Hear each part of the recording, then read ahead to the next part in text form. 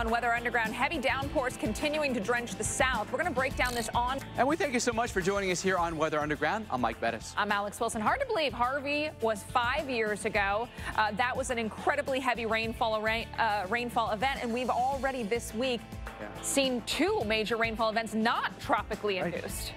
It's hard to believe it's been 30 years yeah. since Hurricane Andrew, yeah. right? Uh, so uh, end of August can be very, very active when yep. it comes to the tropics. We've been very fortunate to, to, be quiet of late, but a couple of areas that we're certainly keeping an eye on. Yeah, we've got one area coming off the coast of Africa, another one around the Windward Islands. Uh, Dr. Knabb breaking it down, saying both of these worth watching here in yeah. the days to come. Absolutely. And then again, I mentioned closer to home, it, it did not take tropical systems bringing us huge rainfall totals. Yet again, we're talking about communities absolutely swamped. Yesterday, it was the state of Mississippi. These numbers are insane. In some places here, we've picked up more than a foot of rain.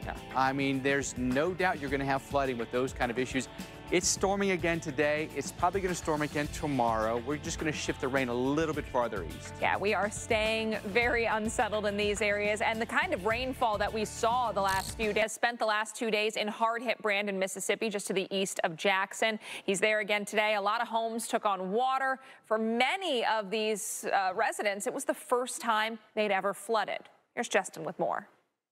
We're going to shift to next for yeah. some of the heaviest of the rain. But I think a place like a Montgomery or Birmingham, you're worried in Atlanta or Columbia, South Carolina, not as big a risk for you as we've had in previous days in other places. Yeah, uh, you know, we've seen the rainfall rates going down. While you have goodness. seen some off and on rain, it hasn't been the torrential rain. Mm. So, yes, yeah, so we will take that, and we've certainly uh, been welcoming those changes. Now, uh, expecting some changes here in the Atlantic Basin. Of course, we are getting ever so close to the peak of the season, coming around the 9th, 10th of September. So here now, as we approach, what, one week away from the start of September, we're seeing things perk up a little bit, waking up. We've got two areas to watch. Neither of these areas looks to bring us imminent development, but as we look a little farther out in the longer range, say four or five days, things could become a little bit more conducive for development. So there's our first area off the coast of Africa. Another one right now currently bringing showers and thunderstorms to portions of the Windward Islands. That's going to get a little bit more favorable for development here as we see this move into parts of central and western Caribbean. You can see some of that drier air. That's the orange shading or that, um, that rust color. And then, of course, all the moisture. So dry air has been causing a bit of a problem for some of these waves, including this one. You know, getting some interaction there with the dry air, dry air working into these tropical systems not going to do us any favors for development. It is going to do us a favor, though, in terms of keeping them away. So again, you like to see the dry air working with it if you are rooting against tropical development. 20% chance of development within five days. Again, I think as we get a little farther out in the period, this is slowly continuing to move off towards the west. I think we could see a little better chance of some development here as we move into the central western parts of the Caribbean. We'll watch the shear, but I do think the dry air uh, conditions become more favorable for development. There's that development area. Again, getting over towards parts of Central America, even closer to the Yucatan Peninsula. Here's the European model. We watch that area of spin. Here it is, continuing to work over towards the Yucatan. By next week, middle of next week, you can see a little bit more of an enhancement, a little more defined area of spin. And again, you watch anything that gets into the Western Caribbean and especially the Gulf as we get into this time of year. When we look at the moisture aloft, of course, still some of that dry air, but a little less uh, beginning to work into this part of the Caribbean. Now, when we look at the shear, the enhanced satellite picture, again, you can still see some shear here over into the eastern Atlantic, a little less as we get off to the west. So again, I think if this thing continues to skirt off towards the south over the windward, we're going to get into an area where shear becomes uh, more hospitable for development. Then we're going to watch opportunities then. Of time to be out and about. And again, we need the rain in these areas. Love to get it without the severe stuff. Severe thunderstorms also possible today back into parts of Montana, Wyoming, even into the western parts of South Dakota. So we look at the Rapid City area. You can see there are two distinct areas, uh, one towards Great Falls and then the other back into the Rapid City area. This would be where conditions would be more favorable for the storms that offer up the gusty, damaging winds, the hail, even an isolated tornado risk. So this afternoon, we've got some of those storms in addition to the severe threats, bringing very heavy rain here across parts of northeastern Wyoming into western western South Dakota. And again, our thunderstorms get going across parts of western and central Montana as we move towards the mid and late afternoon hours through the evening as well.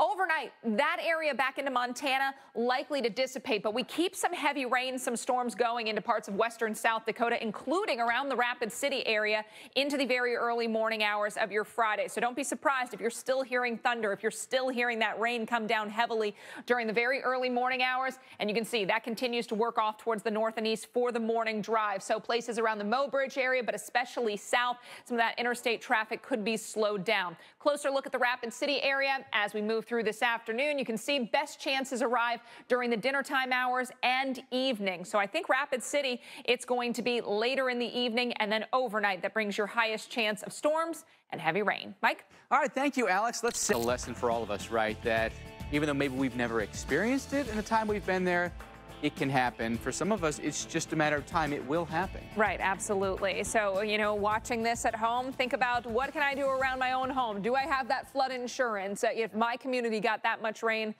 am I living near a body of water that could come to me? Oh, we thank you so much for staying with us here on Weather Underground. I'm Alex Wilson. Hey everyone, I'm Mike Bettis. For many Mississippians, Wednesday's flash flood event is going to be, unfortunately, a very costly one. We know that, and that goes along with the total of six major rainfall and flood events that we've seen in just the last 30 days from St. Louis to Eastern Kentucky, Illinois, Jackson, Mississippi, Death Valley, California, Dallas, Texas. Yeah, so roughly a month, we have seen not just one or two notable mm. events, but six that were life changing for the people who live in these yes. communities.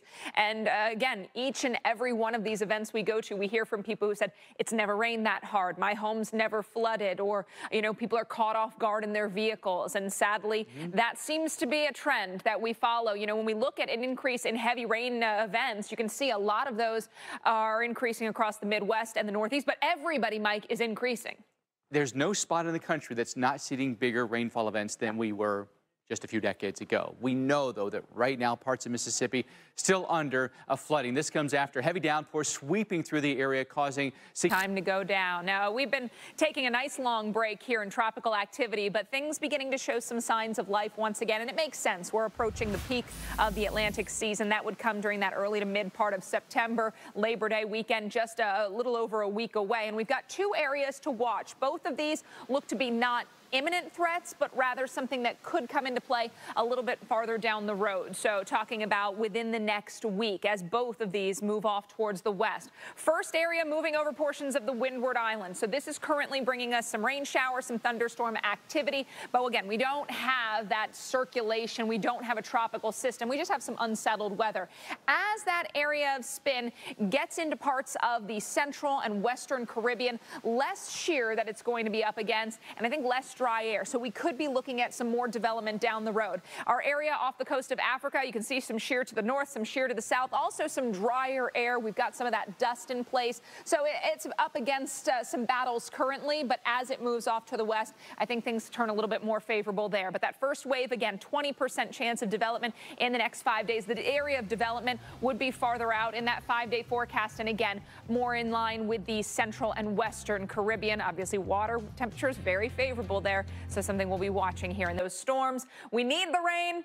You don't want to get it with the severe stuff, but uh, some of these areas are saying, hey, we will take the rain. So storm chances are not. We just need some wet weather. Right now, it's pretty quiet across much of the region. Obviously, the heat focused into parts of the tri-state area, New York, nearing 90 degrees. We've got lower 80s from Syracuse to State College, also Portland into Boston. A few showers up into sections of New England right now, but tomorrow really brings more activity and again, brings that opportunity for some severe weather. Gusty winds, hail, and also heavy rain possible out of these storms. Eastern New York, parts of Connecticut into Massachusetts. Vermont, New Hampshire, and a little bit of southern Maine. That's our best chance area, but really anywhere through uh, eastern New York and New England could be looking at some stronger storms. So we start things up at midnight tonight with a little activity into portions of central New York, but you can see those storms really get going as we get towards the late morning and lunchtime hours of our Friday. So at this point, we've got that line of storms rip rolling through parts of Vermont,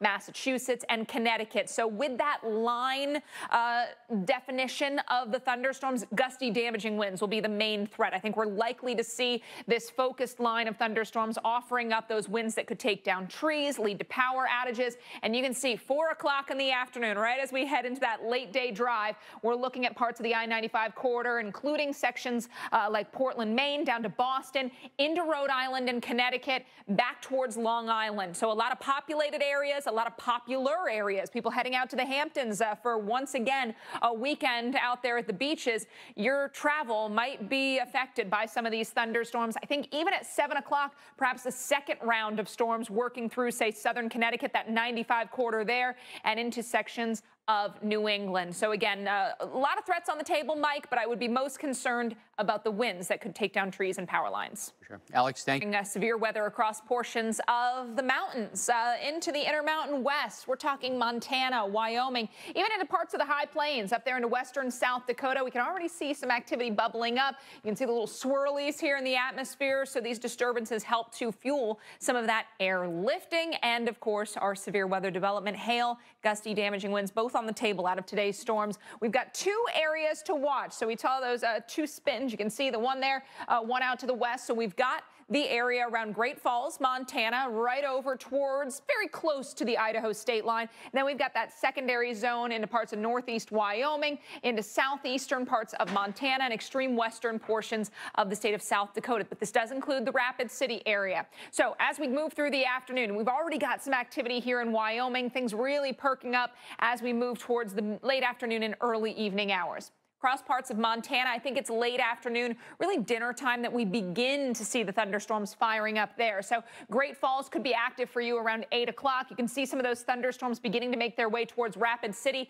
as we move towards the late evening. So hail a possibility into the later evening hours across western South Dakota. And while our one area, our western area, begins to die down a bit into the early morning hours, we're going to keep things fairly active across western and uh, north central South Dakota early on Friday. You can see 2, 3 o'clock in the morning. Rain still coming down in Rapid City, headed up towards the Mobridge area by early on Friday. So uh, closer to that little low, we've got that uh, area of, of um, shower and thunderstorm activity that remains intact during the overnight hours. Here's your future radar for Rapid City. You can see some shower chances this afternoon, but things really get more active for you as we move closer to the evening hours. So here's 9, 10 o'clock with some rounds of thunderstorms. And again, again, very likely that we're looking at more of the heavy rain chances into the late evening and overnight. Early next week, a cold front moving southeast. That's going to help to bring more storms into parts of the Midwest. Well, the National Park Service